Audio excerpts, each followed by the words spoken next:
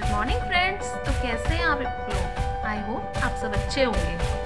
तो जैसा कि मैंने आपको बता रखा है कि मैं अभी अपनी मम्मी के घर ही हूँ तो अभी मैं वहीं रुकी हुई हूँ। देहरादून वापस नहीं गई हूँ।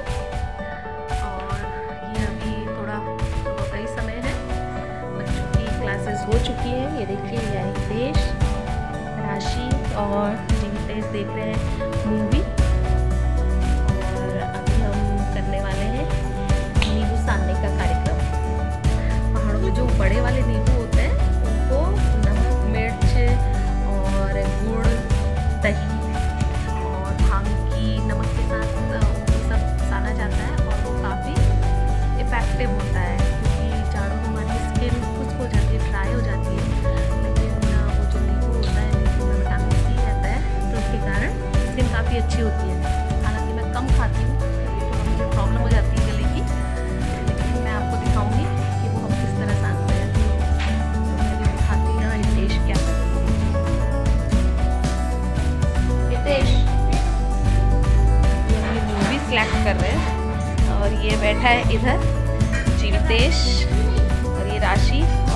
देख रहे हैं इधर पे मूवी हितेश इधर आके देखो।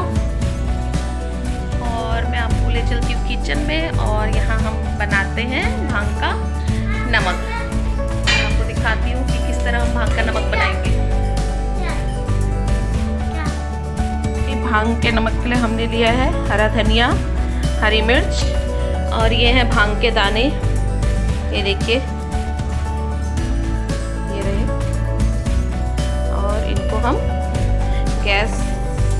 लिए हमने। और इसमें हम भूनेंगे और इनको तब तक भूनेंगे जब तक ये थोड़े से ऊपर को जैसे पॉपकॉर्न उछलते हैं, उस टाइप से ना उछलने लग जाए। और ज़्यादा नहीं भूनेंगे, वरना ये कड़वी हो जाती है। आँच को हम कम ही रखेंगे गैस की। गैस की कम आँच में ही हम भूनेंगे। और इसको पीसेंगे हम सिलबट्टे पे। क्योंकि सिलबट्टे पे पीस के ज़्यादा अच्छा रहता है। के अकॉर्डिंग देखिए, अब मैं इसे सिलबट्टे में पिसने के लिए जा रही हूँ। सब कुछ मैंने इसमें ले लिया है। और हम इसे पीसेंगे अब सिलबट्टे पर। और यहाँ सुधर रहा है पालक, जो मम्मी सुधार रही है। हमारे फूल कितने अच्छे हो रहे हैं। ये देखिए। ये रही मम्मी जिन्होंने लगा रखी है मेहंदी। और ये सुधार रही है पालक।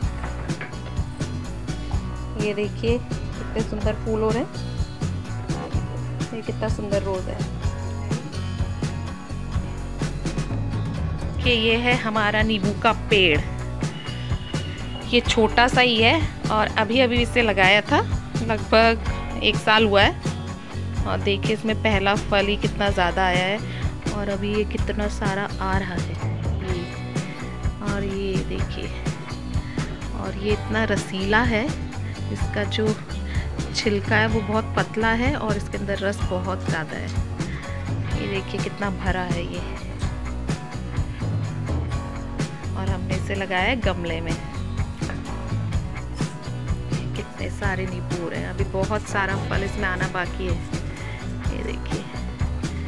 ये देखिए भाँग, नमक, धनिया पत्ती और हरी मिर्च।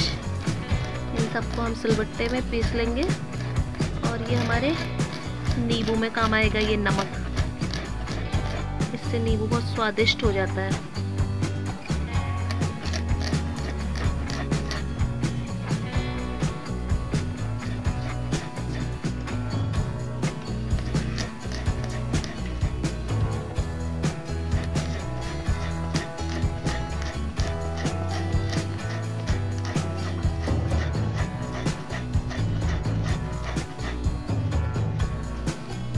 ये रहे नींबू बड़े साइज़ के और अब मैंने छिल लूँगी।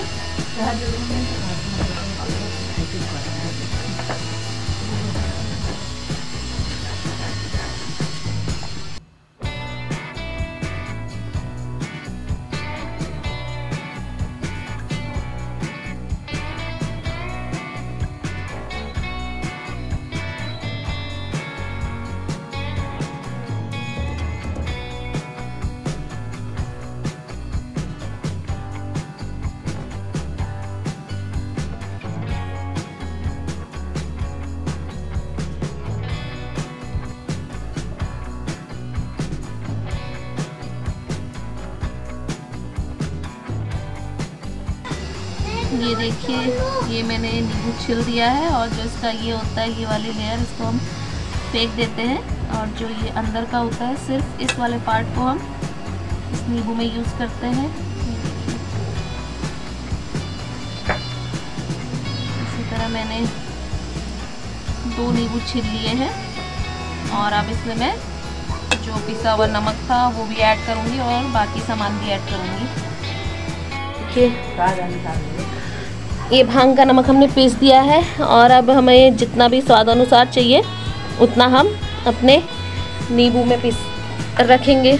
और यहाँ नींबू भी मैंने, ये देखिए, हर एक पीस अलग अलग कर लिया है।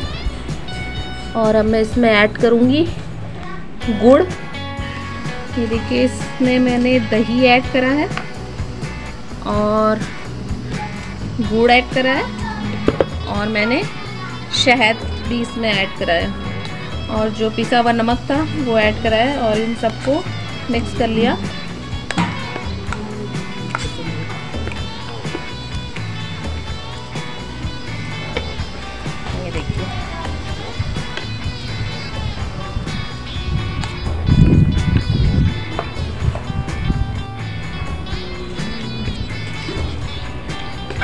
और मैं इसे ज़रा सा टेस्ट करूँगी।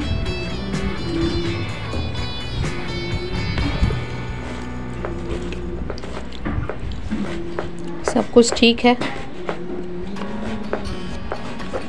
और ये हमारा नींबू खाने के लिए रेडी हो चुका है। हाँ, गुड़ नानी खरीद और ये रखते हैं मम्मी के लिए। और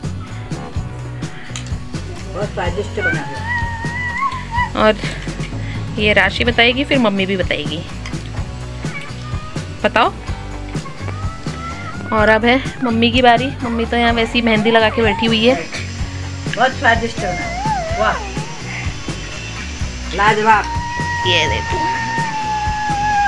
और ये रहा राशि का।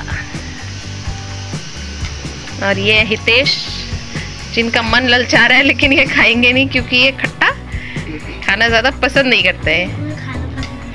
हाँ, तो गुड़ खाओगे? ये हितेश खा रहे हैं गुड़।